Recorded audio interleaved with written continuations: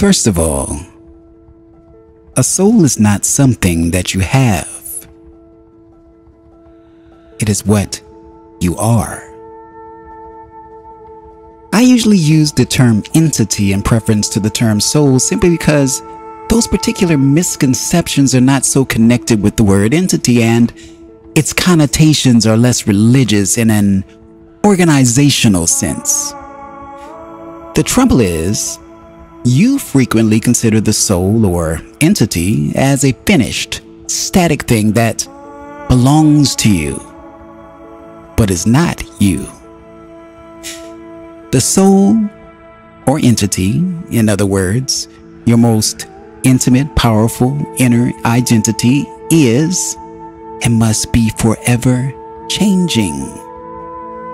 It is not, therefore, something like a cherished heirloom it is alive, responsive, curious.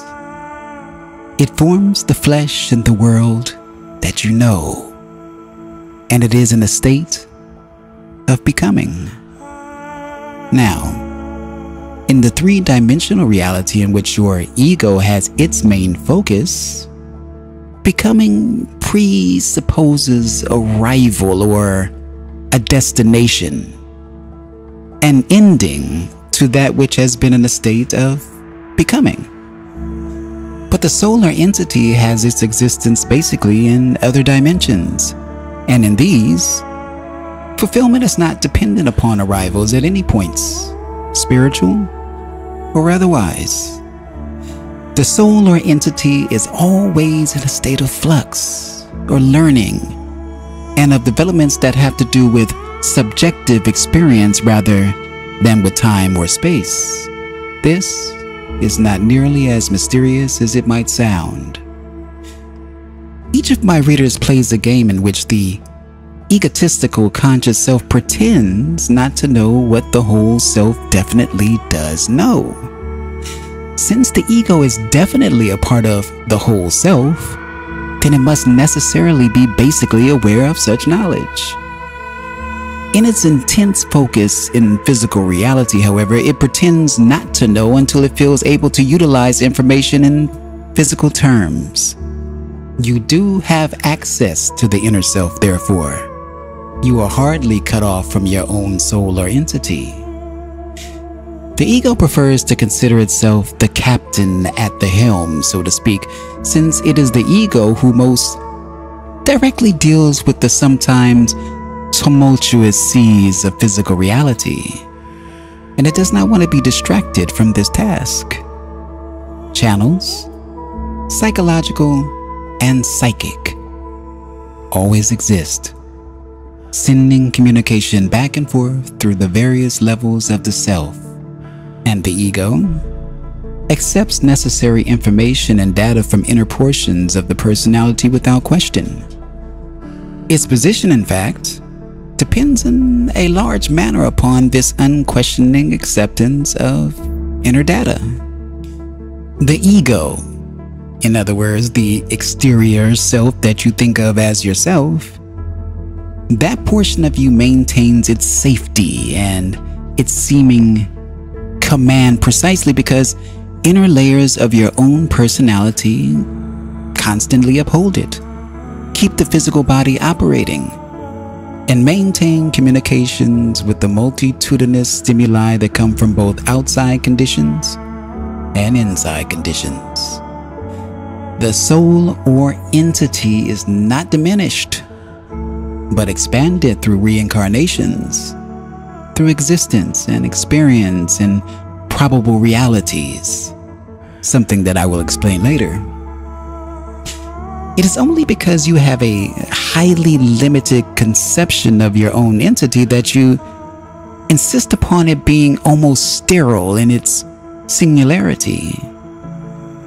There are millions of cells within your body, but you call your body a unit and consider it your own. You do form it from the inside out, and yet you form it from living substance and each smallest particle has its own living consciousness.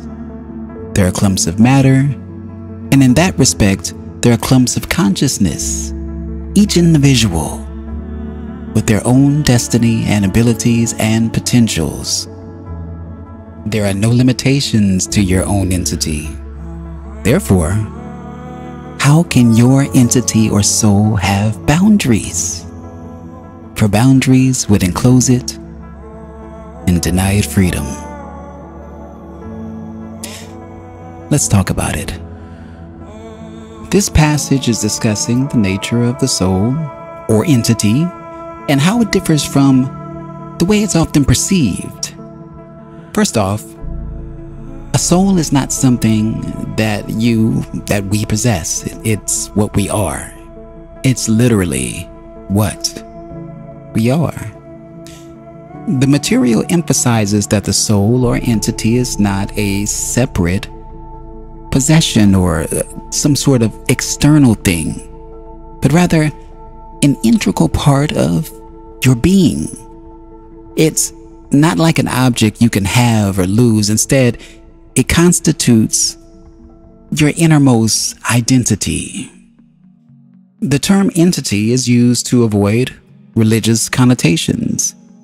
Seth prefers using the term entity instead of soul to avoid misconceptions associated with the latter, especially those of religious and organizational nature. The soul. The soul is not a fixed, unchanging thing. You see, many people view the soul as a static an unchangeable entity like a cherished heirloom. However, the material argues that the soul is alive, it's responsive, constantly evolving. The soul's existence is not tied to three-dimensional reality. But in physical reality, we often perceive development as reaching a destination or achieving something. The difference is the soul's growth is not constrained by time. It's not constrained by space. It exists in other dimensions where fulfillment does not rely on reaching specific points. The ego. The ego and the whole self. The passage highlights the relationship between the ego and the whole self. The ego, our conscious self, sometimes uh, pretends not to know what the whole self, which includes the soul, knows. However, the ego does have access to this knowledge, and the two parts of the self communicate through various channels. The soul is not limited or confined. That's very important.